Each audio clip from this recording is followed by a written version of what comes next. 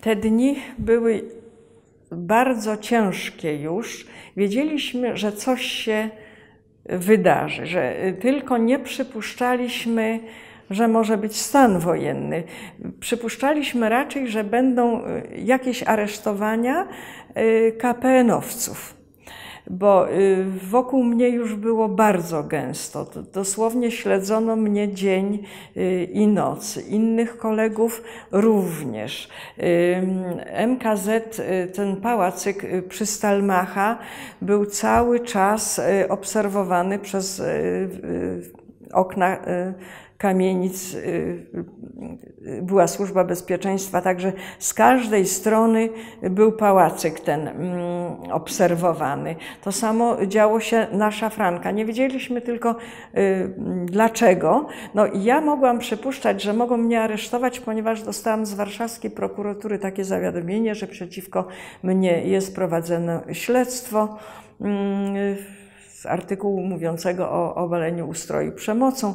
Podobnie Józek Zajkowski był mm, wzywany, chyba on już miał sprawę. W każdym razie mm, wiedzieliśmy, że, że coś się wydarzy. I jeszcze mieliśmy spotkanie KPN-u. Pamiętam, że przyjechał y, Krzysztof Gąsiorowski, który szefował, gdy inni przywódcy siedzieli. Y, przyjechał do MKZ-u Krzysztof, mieliśmy zebranie, musieliśmy się zabezpieczać, ale jak mówię, wydawało nam się, że przede wszystkim to będzie uderzenie w działaczy KPN-u i Komitetów Obrony Więzionów za przekonania. No, stało się inaczej ja wtedy byłam bardzo przeziębiona. Miałam zapalenie oskrzeli, początki zapalenia płuc, bardzo źle się czułam. W zasadzie byłam na antybiotykach, ale jeszcze codziennie przychodziłam, bo było mnóstwo różnej pracy w zarządzie. Także codziennie byłam w zarządzie, potem to spotkanie wieczorne y, z Gąsiorowskim i z innymi przedstawicielami KPN-u y, z różnych y, kopalń. Bo y, nawet mówili, że gdyby mnie aresztowali, to staną y, kopalnie i, i, i wyciągną mnie z więzienia.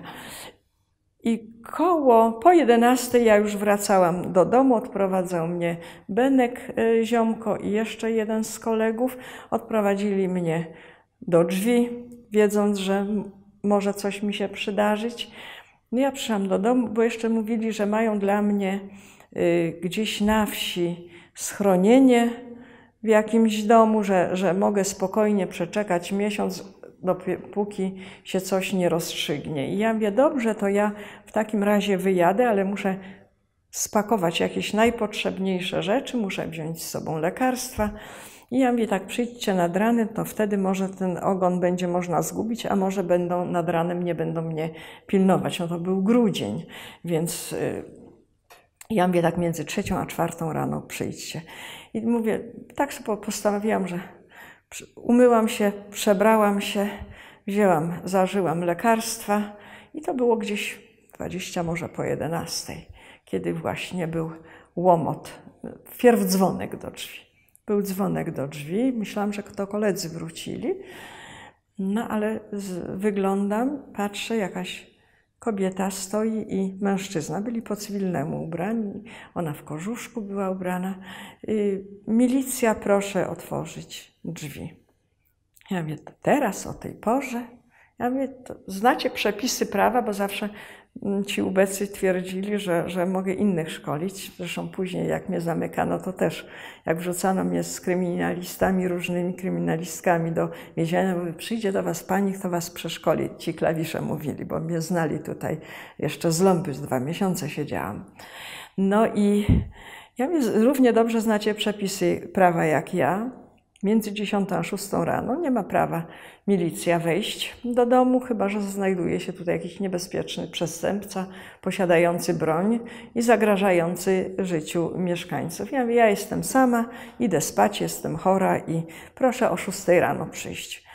No i oni, żebym nie żartowała. Ja mówię, no ja nie żartuję, to chyba wy żartujecie, skoro przychodzicie o tej porze. Proszę otworzyć drzwi, bo y, inaczej wyważymy. Ja nie przypuszczałam, że mogą wyważyć drzwi. Wobec tego mówię, no wyważajcie, wyważajcie, a ja dzwonię do zarządu i powiadomię y, y, o tym, co się dzieje. I podbiegłam, miałam w sypialni telefon, podbiegłam do telefonu. W tym czasie już był łomot, już faktycznie y, rozbijano drzwi.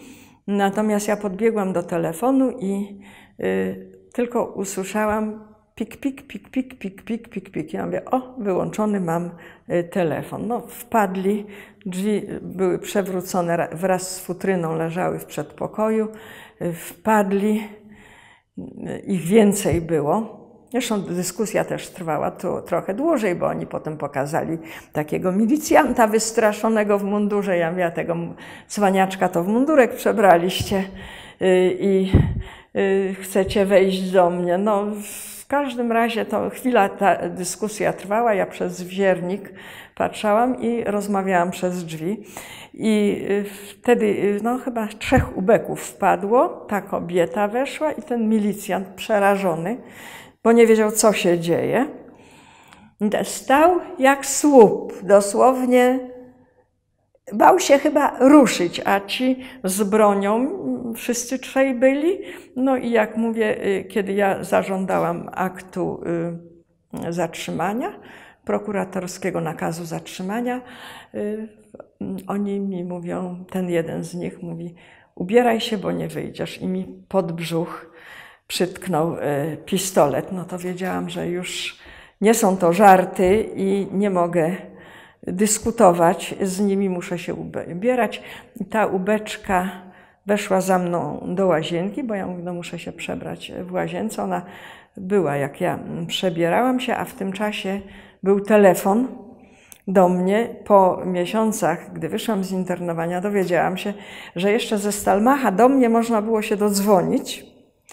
I chłopcy dzwonili, i ona odebrała telefon, bo mnie nie pozwolono odebrać. Ona odebrała telefon i oni y, krzyczeli: Teresa, uciekaj, bo szturm jest na Stalmacha.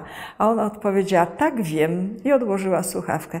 I oni nie mogli darować mi, że tak głupio dałam się złapać. Oni mnie ostrzegli, a ja odpowiedziałam, tak wiem i dałam się im złapać. No ale wiadomo, ja potem wytłumaczyłam, że to nie ja ten odebrałam telefon.